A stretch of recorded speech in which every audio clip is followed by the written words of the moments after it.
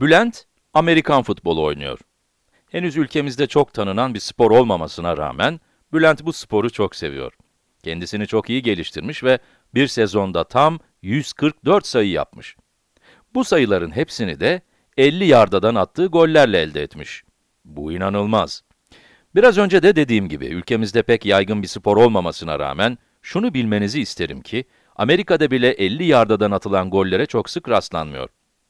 Bir yarda yaklaşık 90 santimetre eder, yani yaklaşık 50 metreden gol atmaktan bahsediyoruz. Büyük başarı. Amerikan Ulusal Futbol Ligi için bile inanılmaz bir skor bu. Hatta Bülent'in Amerikan rekorunu kırmaya çok yaklaştığını bile söyleyebiliriz. Çünkü eğer yanılmıyorsam, rekor 60 yarda olmalı.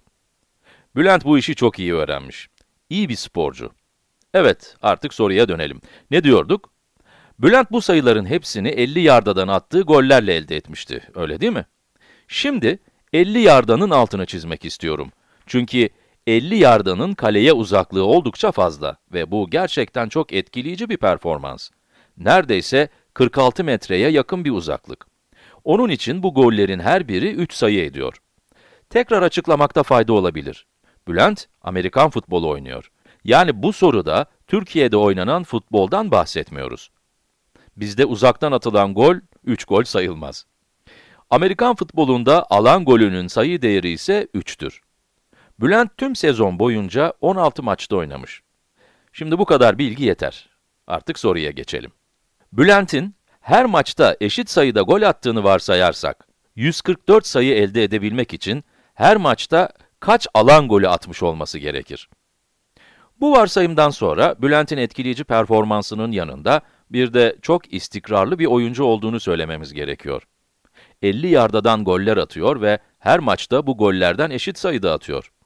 Şimdi gelin, Bülent'in her maçta kaç gol attığını bulalım. Bu soruyu birkaç şekilde çözebiliriz. Mesela, Bülent'in bir sezonda toplam kaç tane alan golü attığını bulabiliriz. 144 sayı yapmıştı değil mi?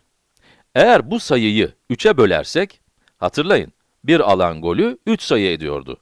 Bülent'in bir sezon boyunca yaptığı toplam sayıyı, bir alan golünün sayı karşılığına bölersek, o sezon atılmış gollerin sayısına ulaşırız, öyle değil mi? O halde bölme işlemine başlayabiliriz. 14'te 3 kaç kere vardır? Burada işlemi yapalım. 4 kere vardır. 3 kere 4, 12 eder. 14'ten 12 çıkarsa, geriye 2 kalır. 4'ü aşağıya indirelim. 24'te 3 kaç kere vardır? 8 kere. 8 kere 3, 24 eder. Kalan 0 olur. Bölme işleminin sonucuysa 48 olur.